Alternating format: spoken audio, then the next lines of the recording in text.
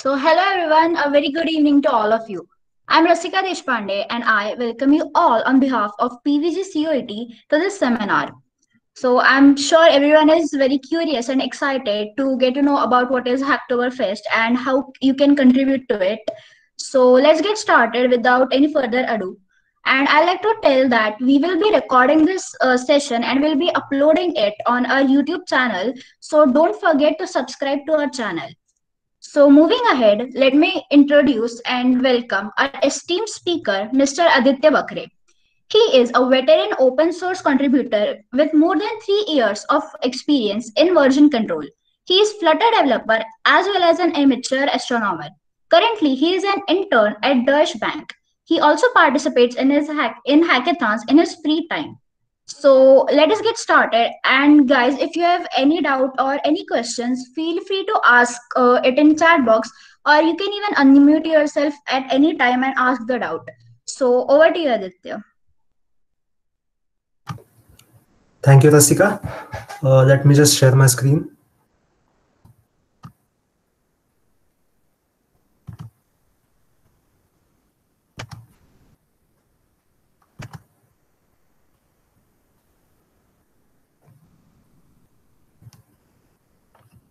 Okay, let's start with our today's session. Uh, our today's session is uh, mainly about contributing to the Hacktoberfest. But before contributing to the Hacktoberfest, let's just take a review of uh, the previous uh, session, the, what we learned in the our previous session. Uh, so these were the commands that we learned uh, in the previous session. The first command is git clone. What git what git clone does is it retrieves an entire repository from a, from the hosted location via URL uh, like we our hosted repository was on github so we used git clone to clone the repository on our local machine. That's uh, what git clone does. Then git add. Add a file as it looks uh, now uh, to your next commit. I mean it uh, staging area. So i uh, already mentioned what a staging area is. It's a temporary place where the files you make changes to are kept so git add adds those files to the staging area uh, to be committed. After git add, let's come to git commit. On git commit, on entering git commit, uh, the files in the staging area uh, are committed and a new snapshot is taken of your git repository at that commit uh, and your and a git a commit has a comment so you uh, know what uh, you what the the changes that you made you come to know uh, after reading the comment. If you uh, wish to uh, re uh, means i mean revisit your old changes then git push. So the commits that you made are on your local machine. To push them on the url hosted url hosted location or github you use the git push command so it transmits the local branch commits to the remote repository. At, after git push, uh, then comes git pull. Uh, git pull basically fetches any new changes that are uh, currently present on the hosted uh, server or GitHub, you can see. Okay. Then git log. Git log shows all the commits that you are uh, that you have made, uh, like from the beginning, which you made then git status. The state git status shows modified files in the working di directory staged for your next commit. Like if you uh, make some changes and if you did not do git add, those staged uh, files, uh, though those files are showed uh, in the uh, git when you enter git status. Okay. Then comes git merge and in bracket I have written branch. So what this does, if you Uh, make a development branch, as I mentioned in the previous session, and you want to merge those new commits in your main branch. So git merge comes to the rescue over there. It what it does is it merges those new changes to your main branch. Okay. Then git reset hard and the commit hash over here. It's the commit hash. So if you mess up with something or if you uh, break some code uh, if your code is not usable or it uh, backfires on you. So you can revisit your old commit on which you were you were previously on, which the code that was working. So for that, uh, you use git reset uh, and hyphen hyphen hard, and over here the commit hash comes. Okay, then the last co command that we used was git branch. Basically, uh, it it is used to change branches. So if uh, I enter git branch with branch name, so it will uh, move me on a new branch that I already have. Or if I don't have a new branch and I want to create a branch, uh, so uh, you enter git branch and then branch name. And to move on the next branch, you use git checkout. I'm sorry uh, for that mistake. You use git checkout for that. Okay. So today, for contributing to the Hacktoberfest, we need to know two more features uh, on GitHub uh, which are a part of GitHub that are forks and pull requests. So what are forks? Uh, forks are a, uh, a, feature of GitHub UI and as well as uh, they can be used on GitHub CLI. Uh, you might know GitHub CLI was released a few days ago. So creating a fork is uh, like producing a personal copy of someone else's project. forks sort of act as a bridge uh, like between the original repository and the uh, your project. Uh, so let's take an example. This is a main project, and you basically create a copy of this to edit. And if you want, you can contribute to your fork. and forks are like uh, if someone likes your work that you have made uh, and so they can fork your project too and create a new copy of your project and so they can work on uh, on that part. So i will take an example again. Uh, suppose uh, you are working on a recipe of cake and you decide to open source the recipe. Uh, i know it's a pretty basic example your and your recipe turns out to be awesome and everybody likes your recipe. And as it is open source uh, people can access your uh, recipe and people can make copies of your recipe. Uh, like they can fork your recipe. So uh, uh, people like your recipe and they think that this can be improved further according to their own liking. So what they'll do they will ch make changes in the fork. Okay so this is what forks are I'll show how to fork uh, later on GitHub. Okay. So next comes pull requests. So pull requests are most important for open source contributions, and also they are help for collaborations on GitHubs.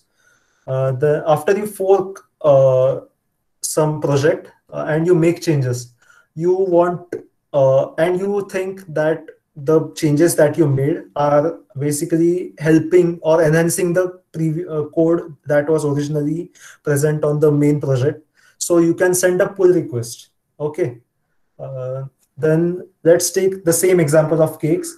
So you made a fork of the recipe of cakes uh, and you made your own changes, like you added some chocolate or something, and you thought that this is uh, making the recipe more awesome. So you submit a pull request to the owner of the original recipe saying that, uh, see, this is the recipe that you currently that you previously had i made some changes and by doing these changes uh, the code is uh, the recipe is getting more awesome and it is uh, the cake is becoming more tastier so the owner uh, like uh, the main owner of the project, the recipe, uh, the owner who found out the recipe or who created the recipe, he'll review your pull request.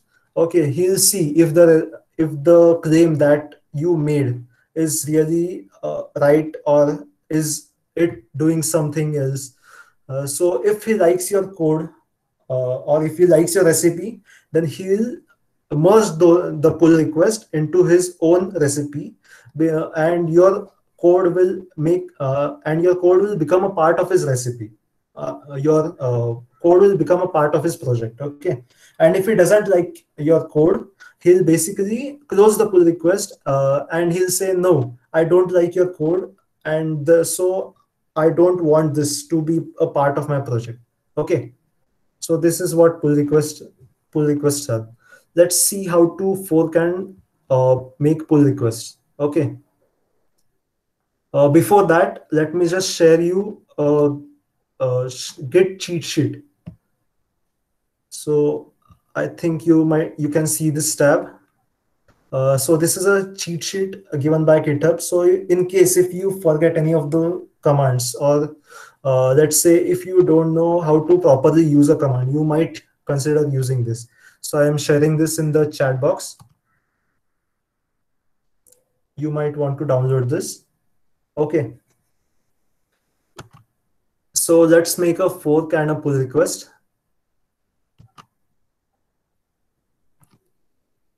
I hope you can see this tab. Uh, so this is a project by Advait and he made a, a Sudoku project in Python. And let's say I like this project and I want to make some changes over here. Uh, so I basically fork this project. Uh, here is the fork option. On pressing this, it will create a copy. Uh, so I'm part of these organizations. Uh, so I'll create my own account over here. So you can see over here forking uh, his project and it's basically making a copy. So in my account, uh, a copy of that project is made. Now let's make some changes over here. I'll first clone this. So I'll copy this. Now uh, I'll have to stop screen sharing for a second to share my entire screen.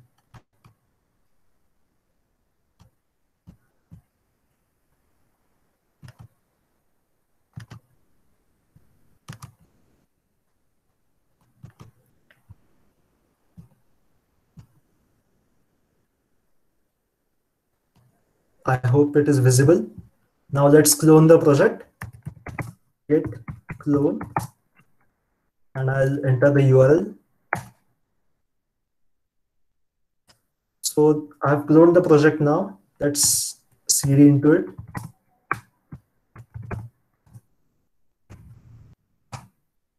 Now, uh, as you can see, this is a project in Python. And as you might have seen some projects in Python, they have a requirements.txt file in which all the dependencies or requirements are placed. So this project does not have requirements.txt. So I'll add the requirements.txt over here. Okay. So I'll open this in. Uh, firstly, I'll uh, create a virtual environment.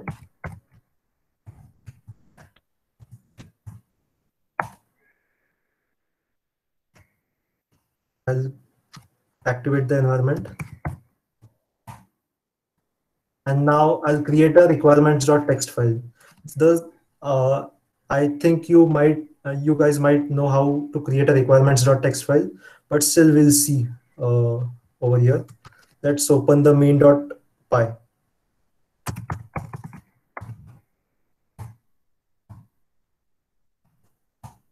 Over here, you can see a module named as NumPy and the second is puzzle. But puzzle is already included. Uh, it's basically a, a second file uh, which he is importing. So let's uh, use numpy. Let's uh, install numpy in our uh, virtual environment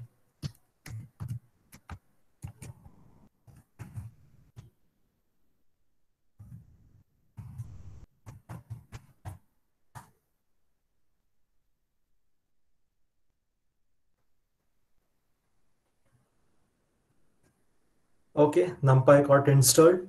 So uh, to create a requirements.txt file using all the dependencies, there's a simple command pip freeze and you forward the output to requirements.txt. This will make a requirements.txt and if I do git diff, this is a new command git diff. Uh, sorry, I'll do git status you'll see a requirements.txt file uh, created over here, but it is not added yet over here. You can see over here, untracked file. So let's add it and let's commit it.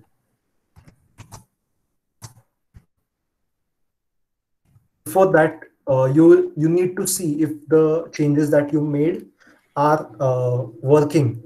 So this is a main part that you need to test your changes first before uh, uh, sending a pull request.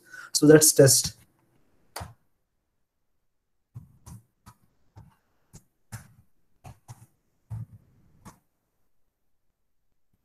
So yeah, it's working. Okay, now let's commit those changes. Git add requirements.txt and now git commit.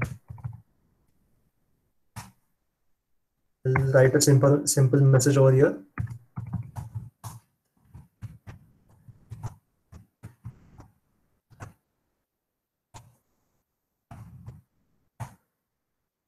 Okay, I committed this. Now let's push this.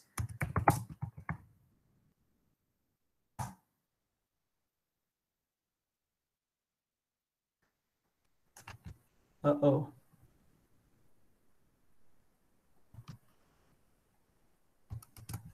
Okay, I need to change the URL first.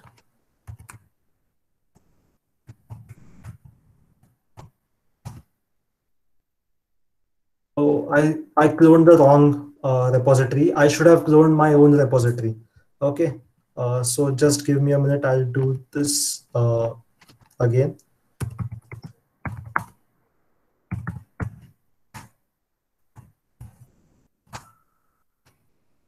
Clone this from here.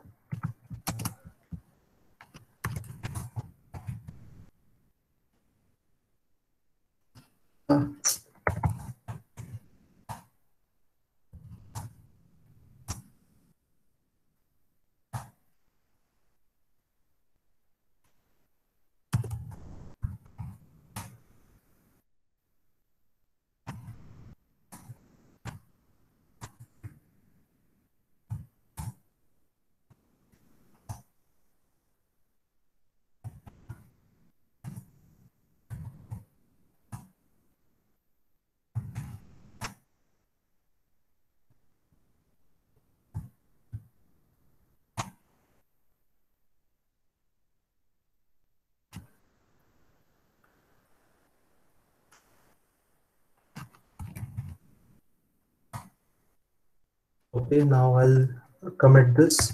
Git add git commit.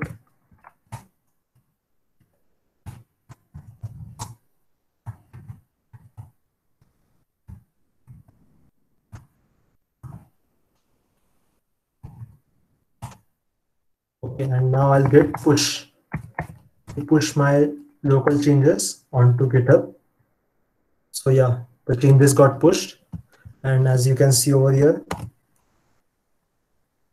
the requirements.txt file got added. And in the requirements.txt there's a line just a single package because he has used a single package of numpy. Okay now let's see how to uh, send a pull request. So i think my uh, the enhancement that i made uh, will help uh, others who will visit the repository of advait and uh, they, it will be easier for them to execute the code let's say. So what i'll do is i'll send a pull request to him. So let's see how to send a pull request. Go to pull requests and new pull request.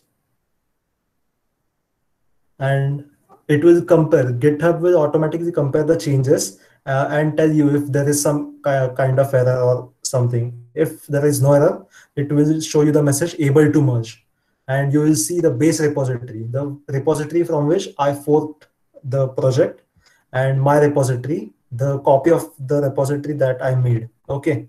And these are the branches. I'm uh, sending the change from my master branch to his master branch. Okay. And then I'll simply click on create pull request. It will tell us to add a message. I'll keep it as it is and I'll create a pull request. Okay, it's that easy. Now over here, Advait will see that there's a pull request and if he likes my contribution, he'll merge it. Okay, and if he doesn't, he'll close the pull request. Okay, so any questions?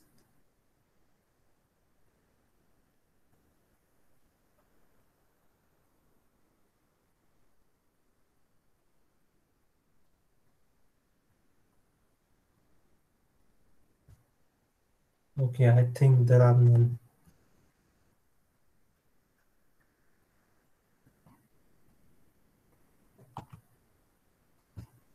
Okay, so let let's move on to the next part. Okay, is there any question?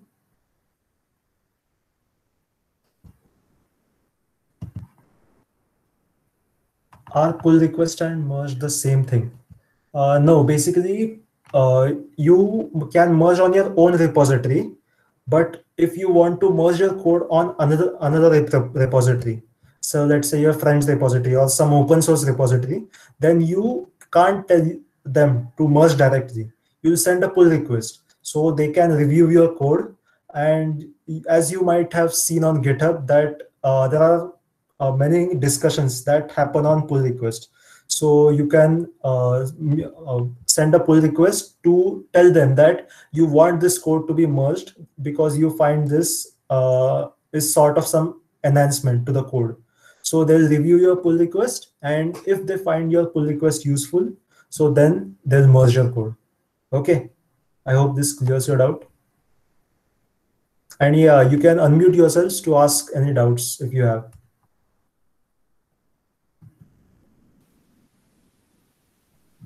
Okay, let's move on.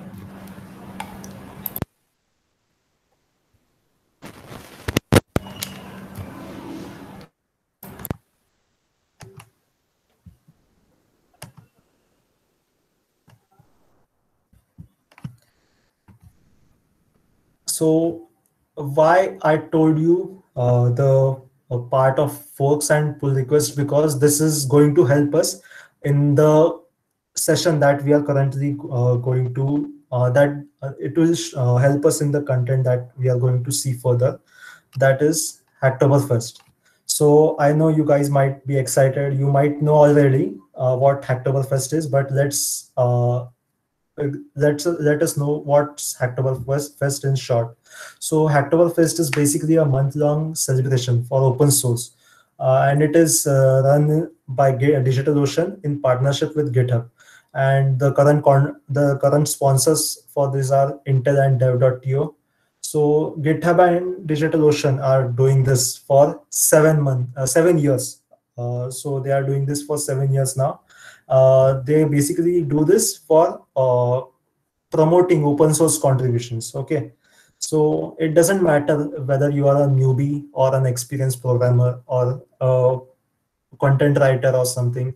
Uh, anyone can contribute to the Hacktoberfest. You don't need to worry that uh, what if I don't know how to code or something.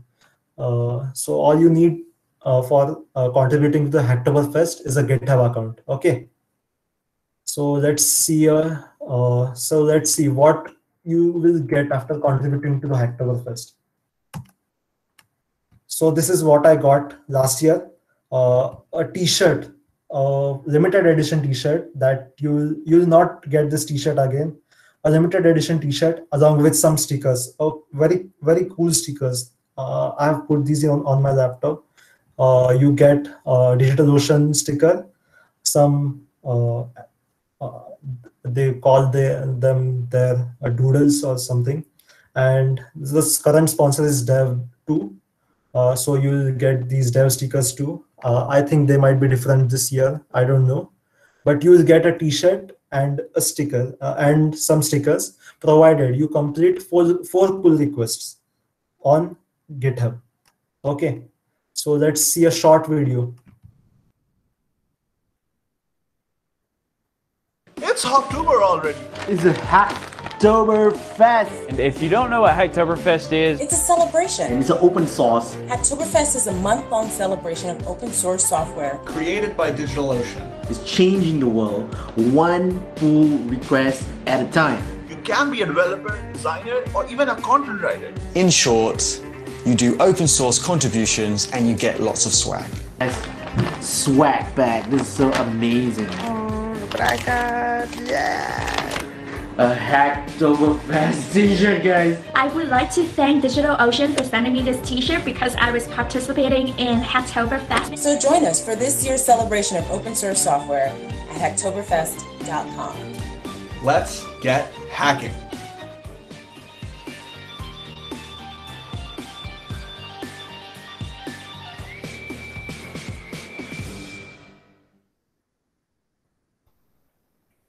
Okay.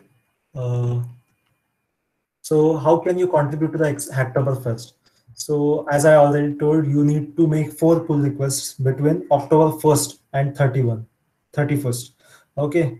And pull request can be uh, made only to public repositories and uh, you can contribute to any public repository on uh, GitHub, uh, whether it has a Hacktoberfest tag or whether it doesn't.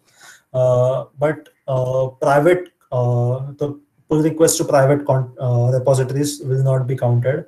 And also, you must keep some things in mind that if a maintainer, uh, uh, like some, uh, I've seen last year that some people uh, do spam pull requests. Like if there's a spacing error or some space, extra space, they make five pull requests to remove one space. So if you do such kind of pull request, uh, your pull request will uh, not be your pull request will not be counted, and you might not get a chance to win the t-shirt. Okay.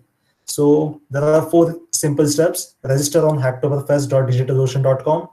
Make full, four pull requests between October 1st and 31st.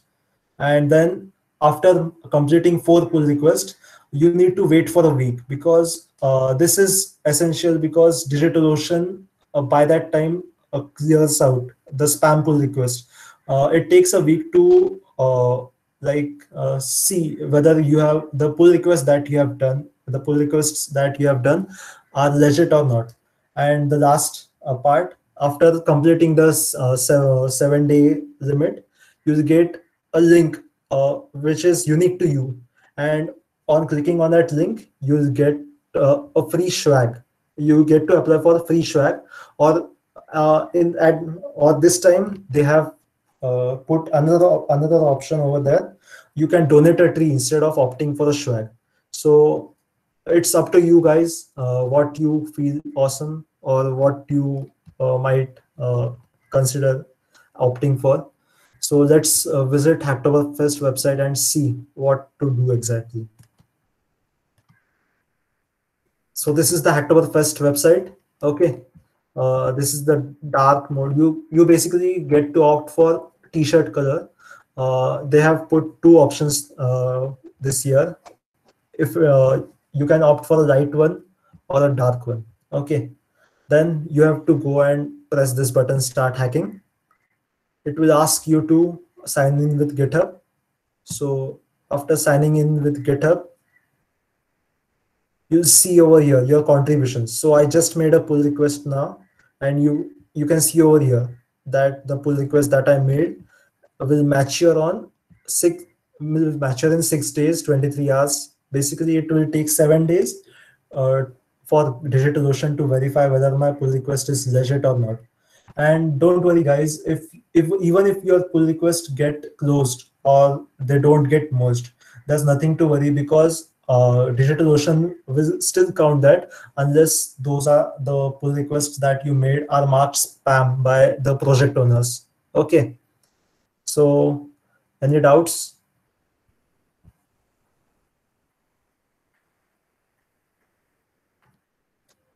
Should all four pull requests we made must be merged by, uh, let's see, merged before 31st October. No, that's not the case. Uh, basically, uh, you should make four any four pull requests between October 1st and 31st. You can make four pull requests uh, on 31st too, and even if they are merged or not, uh, you will still get a T-shirt provided uh, your pull requests are legit. It will it they should pass the seven day limit. If you make on 31st October, uh, you will have to wait for seven days. Like uh, after seventh uh, day on 7 November, let's say, your pull request will mature, and after the all the four pull requests uh, mature, you will get to opt for swag. What about direct commits in actual organizations? Okay, that's a good question. Uh, you can still contribute to the actual organizations, and if you if they get merged, you sh- you should first see how the co- organizations are accepting contributions. So if they are accepting via pull request, it's well and good.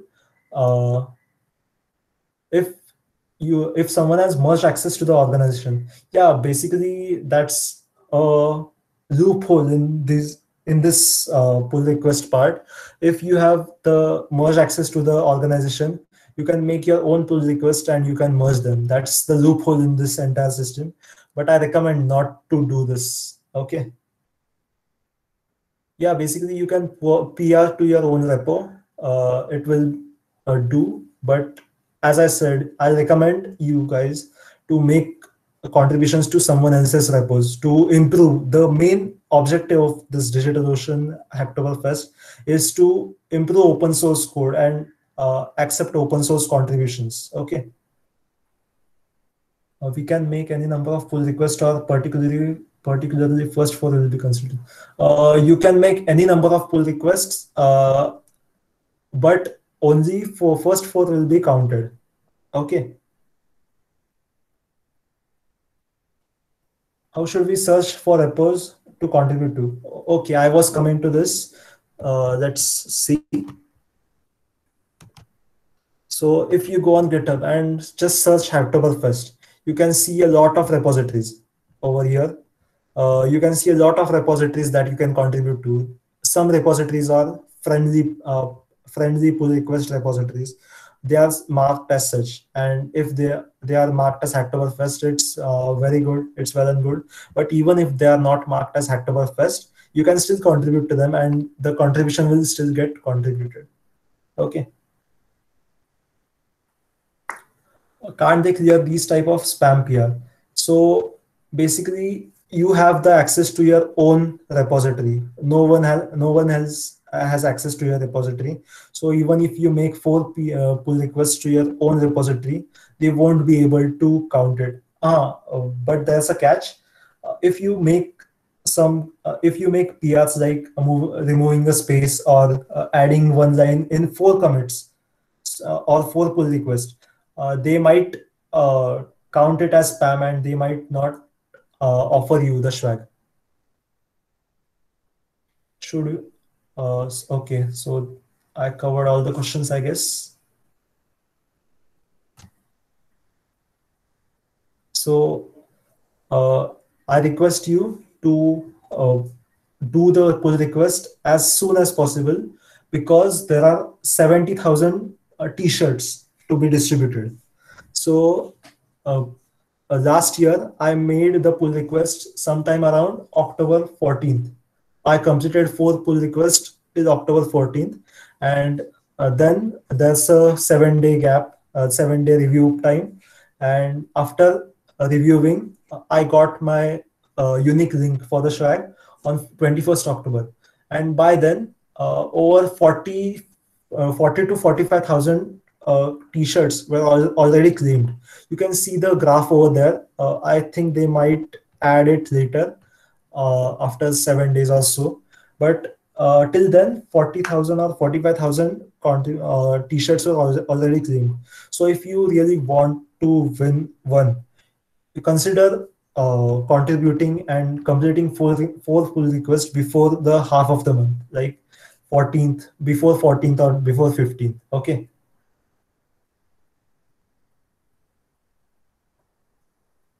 So any other questions?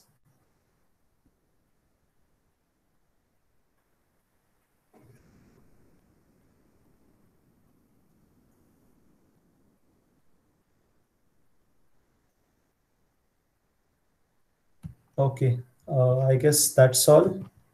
Uh, I'm open for questions still. Uh, if you guys have any questions, uh, this was going to be a short session because all I had to do was uh, introduce to the Hacktober, introduce you guys to the Hacktoberfest, and how uh, and tell you how to make a pull request. Okay. So that's all from my side. Over to you, Rasika. Yes, thank you so much, Aditya. So, if you guys have any doubt, I'll be waiting for two minutes. Please feel free to ask in comment section or you can even unmute yourself.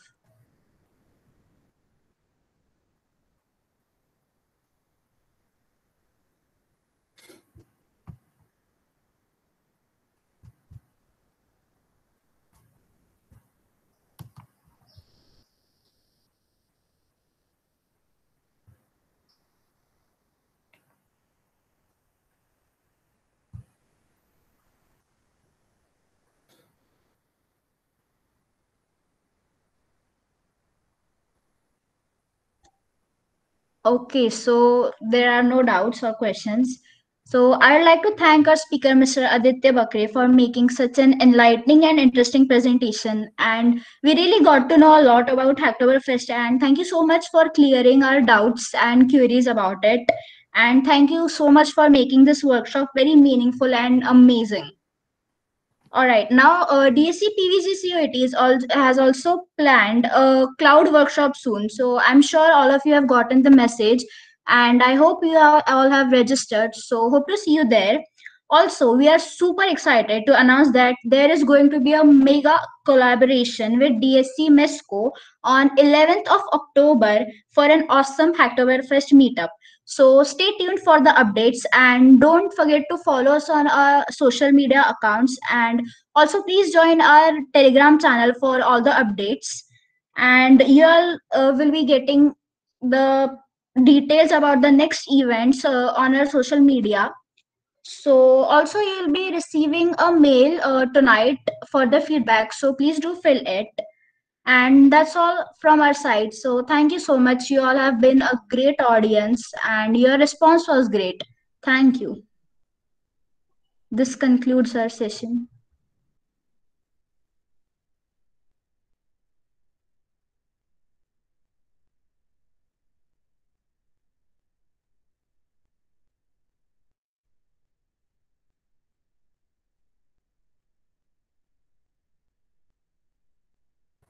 If you guys still have any doubts, you might consider contacting me on LinkedIn.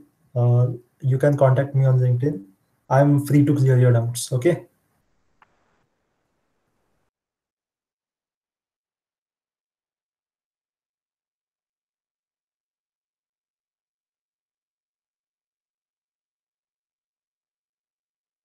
Aditya Kabir Jain is uh, asking for your LinkedIn ID. Could you please? Oh, okay. Just a second. I'll share my LinkedIn ID.